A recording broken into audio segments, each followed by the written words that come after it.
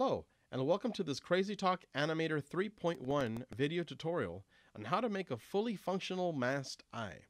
So here on the screen, I googled uh, these cartoons called Adventure Time, which is a cartoon based on a little boy called Flynn and his orange dog named Jake. So both of these characters have two types of eyes. Flynn, for example, has these iris, these beady eyes with no eye whites. And then his dog Jake has eye whites for eyes with no pupils and uh, no irises. So these are two types of characters, uh, two types of eyes that we usually find in cartoons. Then we can go to SpongeBob SquarePants. Everyone knows SpongeBob, and we can try to see the facial expressions. Now, for for SpongeBob, he has three elements in his eyes. The the first one is the eye white, which is the entire area of the eye, followed by the iris, and then we have the eye mask. This basically covers the eyelids the areas of the eyelids on top and at the bottom. That will ensure that our irises do not uh, move out of that area of my eye white, that my iris and my pupil stay inside that area. Okay? So those are the three examples, the three elements, I'm sorry. So for when we use a sprite editor and we open the template, the PSD group template, you'll notice that we have six folders for each eye. We have um, normal, smile close, eye close, scared, and all of these six have child groups, subgroups, which is the iris, the eye white, and the mask for each different subgroup. Okay? So here I have my original character. And as you can see, the types of, of eyes that he's got, uh, just like the Flynn character, was just a beady eye. And if I select that, you'll notice that in my folder, under the normal folder and in the subfolder for iris, I have one image called iris normal. And I'm going to close that, turn that off. And the other one is smile close. This is another eye pose. This one is called iris smile close. So all of these, I am going to put them inside the iris folder of my character, or well, that's where they were originally. Uh, because this character doesn't have eye whites or even the eye mask. It only has one eye, and all of this can be found inside uh, the iris uh, folder, each, each eye pose. All right. So what I wish to do right now is that I am going to remove the eyes that I have for my character and I'm going to add my own eyes. So let me turn all of these on so we can see um, all my eyes and I'm going to lock my face so that we don't move this. And I'm going to select all my left eye, delete that, all my right eye components, and I'm going to delete that too. And we're going to open our own PSD file, our source file, for the eyes that I created. So I have six different eye expressions for both left and the right eye. Some of these have the eye whites with the iris and the eye mask. Others don't. They simply have just one image on them. So, for example, in the normal folder, I have iris, eye white, and the mask. The iris will govern the pupil. The eye white naturally will be the entire area of the eye. And then the mask can be um, basically just a copy of the eye white. Here we made a gray um, sample of it. So the cool thing is that you don't really need to prepare a separate image for an eye mask. Most likely, they just you, you can just just use the same shape of the eye white, unless you want to do very very detailed um, animations with eyelids at the bottom.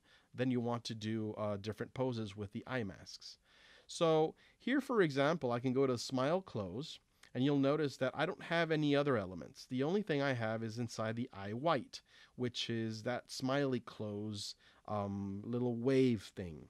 Now, the reason why I put this image inside the eye white and not the iris is because when we animate, the iris is always moving about. The eye white is base is, is most is, is normally static. It's, it moves a bit, but not that much. So for these expressions that I have here, like I smile, smile close, eye close, I only have one element, and I don't want these to move too much. So I place these image layers inside the eye white folder, and we have nothing inside for iris and the mask folder. When I go down to eye squint, the same deal. I only have one image layer, okay? And I'm sorry, this one is for the eye squint. Here we will have three. We will have the iris, the eye white, and the mask. Again, the mask has the same shape as the eye white for this expression. And the same thing for the iris change. We have three elements in this particular pose. We have the iris, we have the eye white. You can turn that on and off to toggle it. We have the eye white, and we have the mask, which we made in sort of a grayish transparent color there. All right, so we're good. So I wish to bring, uh, first of all, I'm going to bring my first eye, my left eye. I'm going to bring in uh, the normal stance, the normal eye pose. I'm going to select all of that, and I'm going to bring it into my template character here, and I'm going to adjust it right there. But I need to make sure that all these three elements are inside their respective folder. So make sure it's inside uh, the left eye. And I'm going to bring this inside normal, the normal folder. And then once inside the normal folder, I need to allocate each one into their specific subfolder. So I'm going to bring in the iris, just like that, iris subfolder, then the eye white, and the mask. Now, you need to always make sure that you have these elements inside. Remember, if you're working with Photoshop and you've got all these small folders, it's easy to get lost. So always make sure everything is properly placed inside their own folder. So I'm going to save this PSD file. I'm going to save this as uh, IPSD. And I'm going to bring this into CrazyTalk Animator 3. I'm going to replace um, uh, the, the, uh, the original eyes that I had on my character. So inside CrazyTalk Animator 3.1, make sure that you're inside the composer mode. And I'm going to import PSD assets. I'm going to choose that file I just saved. We're going to open this. And for the loading options, we're going to choose partial update and maintain the previous bone settings and sprite transformation. I don't wish to move things at this point. Just click on OK. And in the part selection, uh, go to talking head and OK. And we're ready. Let me turn off this bone here. We can see things better. Okay, so our eye, I can always move this if I'd like, and it'll move all the elements together. Let me go back to stage. I'm going to refresh my character in the stage, and I'm going to test some of this puppeteering. So let's go to facial puppet, choose one of the profiles and a face control, and let's preview. And you'll notice that my iris really moves around while my eye white stays in the same position or relatively the same position. Now, if I blink my character, you'll notice that I'm going to be using the same sprites as um, the, the, the previous sprites of my character. Let me show you right now. I'm going to click and I'm going to blink, and you'll see that he's using the sprites, the original sprites that were with my original character. This is because I haven't imported the new sprites. I can go to face here. You can see that the only uh, sprites that we've brought in are the ones that we saved. So we need to replace all these other ones, the six ones, right? Smile close, eye close, scare, eye squint, and iris change. So let's do just that. I'm going to go back into Photoshop and we're going to bring in all these other elements for all the other eye poses that we have.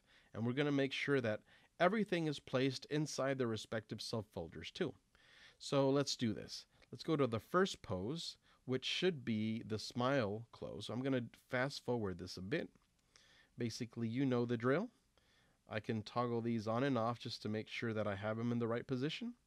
Make sure that each eye pose is brought into its respective folder.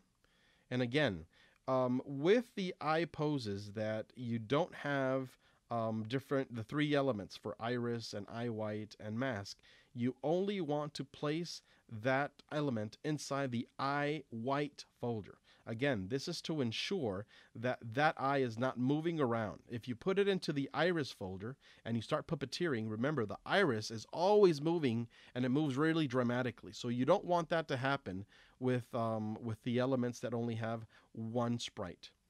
And then the last two for eye squint and iris change, these do have three elements. They have iris, eye white, and the eye mask.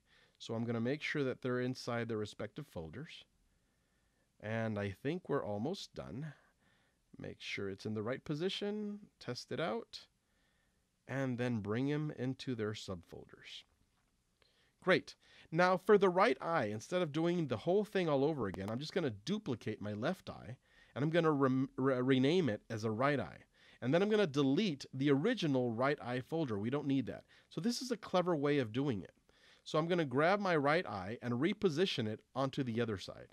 Now, bef- I don't I don't finish here. I need to flip all my images. I need to flip them horizontally. So let's go to free transform, right click here, and flip horizontally. This will ensure that you have a mirror copy of all your left side elements for your right side. And this is a very cool and quick trick. So I'm going to save this one, save as, and this is a new PSD file, overwrite, yes please. And I'm going to do the same thing in CrazyTalk Animator 3.1. I am going to go into the backstage, select your character, go to the backstage or composer mode, and let's re-import that new PSD file. So we've done this several times. Let's find my file here, right there. And for the loading options, we're going to choose partial update, the same thing, bone settings, sprite transformation, and we're also going to choose the part selection. We're going to choose a talking head. This is to ensure that we maintain the same parameters as we did in the, the previous um, the, the previous elements that we dropped in. So let me turn off the show bone. We can zoom in. And I can adjust my eye. So here, feel free to grab your eye and move it around. Remember, only if you're in, in the composer mode can you do this. Adjust the, the position. I think we should be okay. And if I go to Sprite Editor, you'll see that now we have all our new sprites or my, my new eye poses, eye, eye pose sprites for my eye, both for the left eye and the right eye. So I think we're done. Let's go back to stage, and this will refresh my character. Let's zoom in a bit so we can see these expressions. All right, so let's go select my character, and let's go to Facial Puppet, and let's give this a try. I could choose a facial animation profile, face control, and preview. And that works nicely. I can choose different expressions here. Nice, I'm blinking and we have all the elements necessary, all the new elements that we imported. I can choose upset. This one is scared. So this works very, very well if you follow the proper uh, PSD templates that we have. And again, make sure that you drop in the the, the necessary eye um, image layers into into each specific uh, folder uh, and subfolder. So this works pretty neatly. All right, so that's it for this tutorial. We hope it helps you on how to make a fully functional masked eye. And uh, stick around for new tutorials that we're going to have for CrazyTalk Animator 3.1. Thank you.